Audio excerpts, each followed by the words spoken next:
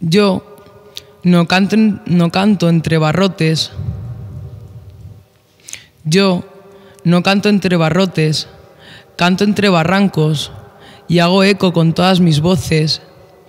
Pongo letra y verso a morsas suicidas, a niños palestinos jugando la azotea y al sonido de los misiles al caer al son de Jadel en Gaza.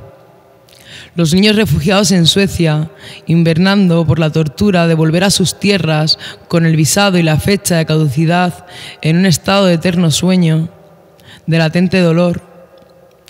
Más de diez meses en coma y a propósito del miedo. Y yo empatizo con ellos. Calma. ¿Cómo estará su Jail de Gaza? ¿Cómo estarán los millones de niños desaparecidos, refugiados y a la deriva? Oídos sordos y el mundo de espaldas y yo comiendo carne, los gritos del Sáhara y el nombre del viento.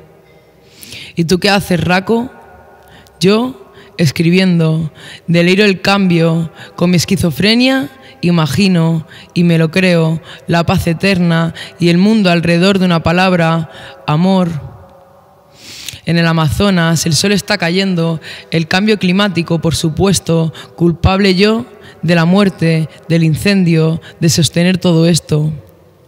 Pongo nombre a la patera eterna y a la muerte del Rujan, el mundo árabe destrozado por completo.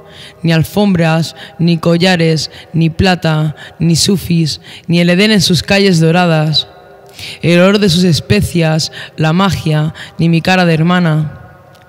Me arranco por sus desiertos, los, de, los lleno de lagos, de lloros y lamentos.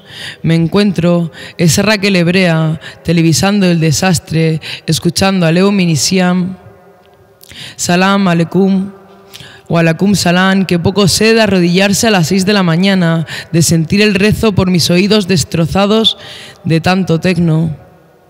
Alá, que poco sabe de la geometría del universo, me declaro insurgente de la incompresión y la indiferencia en contra de Occidente y el Estado Islámico.